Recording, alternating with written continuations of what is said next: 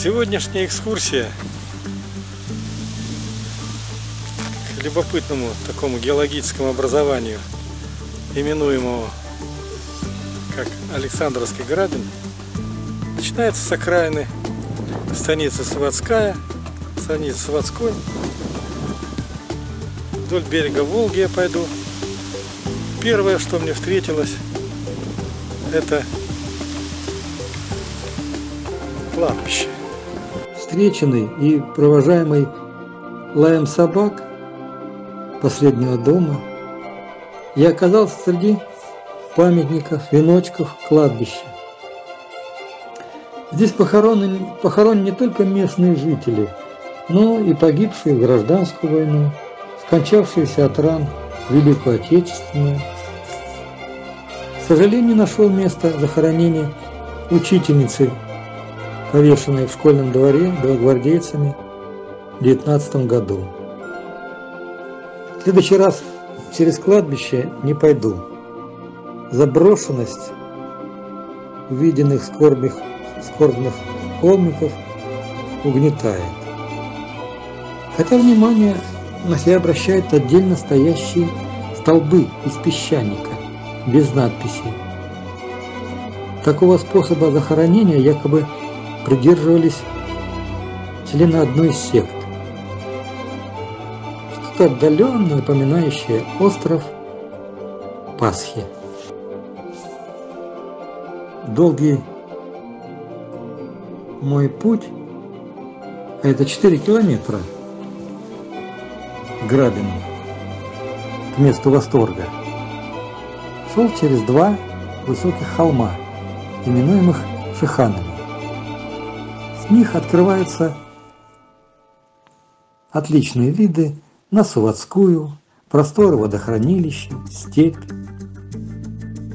К большому сожалению, местное озерцо, образованное в результате подвижек в толще осадочных пород, в этом году без воды. Целое лето стояла неимоверная жара. Так что взгляд радует Местный Байкал лишь сохранившийся зеленью тополей, высаженных местных лесник, местным лесником, да одинокой коровкой на обнаженном дне озера. У подножия Шиханов идут две полевые дороги – Целина. Непахотная земля. Песочек, пырей, ковыль, полынь, синеголовник. Тысячи и тысячи лет назад, возможно, такая же была степь. Одна из дорог поднимается на Шихан, чтобы вновь позволить мне полюбоваться панорамой, освещенной палящим солнцем. На Шиханах Среди сухой травы, редких кустиков шиповника можно встретить ямы до метра глубиной. По рассказам местных жителей, здесь во время Великой Отечественной войны стояла зенитная батарея, охранявшая станицу и суда на Волге от налетов немецких самолетов. В 1942 году бомбивших за многие километры от Сталинграда и эшелоны, и госпиталя, и отдельные машины, переправы, железные дороги. Прогулка по Шиханам, простор Волги, простор Волги и степных далей, конечно, требует усилий, траты времени. Но это своеобразная плата за встречу чудом природы. Чем труднее путь, тем слаще встреча.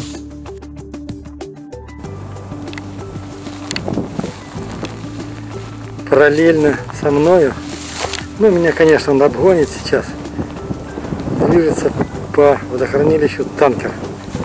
Он входит в светлую полосу воды, становится очень фотогеничным, наверное. И вот оно чудо. Таких повторений красок, таких линий, форм, которые создали за миллионы лет вода и ветер, на поднявшихся из глубин земли морских отложениях Волгоградской области нет. Слой красной глины, красной глины слой, изрезанный водяными струями, высушенный ярилой солнцем, так и просится на видео и фотосъемку. Эгегей! Где вы, художники с мольбертами? Здесь бездна натуры для вас. Хотя здесь может находиться и лагерь подготовки космонавтов, отправляющихся на Марс. Слой красной и светло-серой породы, поднимающихся вертикально на десятки метров над гладью Волги, это по-настоящему впечатляет.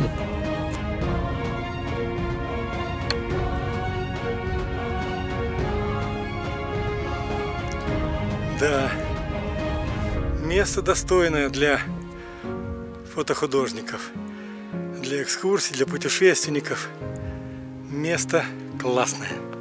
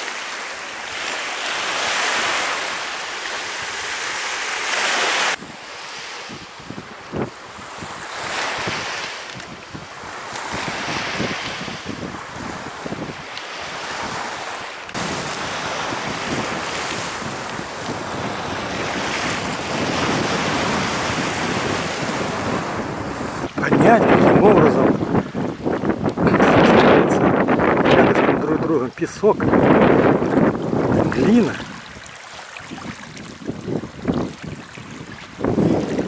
А Бога невозможно.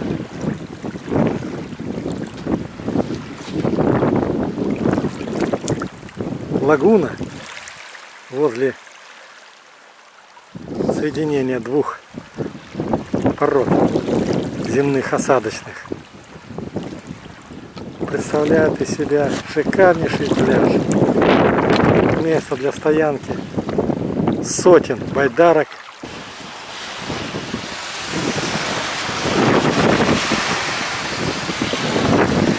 Как образовалась эта глина, я не знаю. Можно где-то, наверное, прочесть. Наверняка это морское море, вернее океан. Как и глина.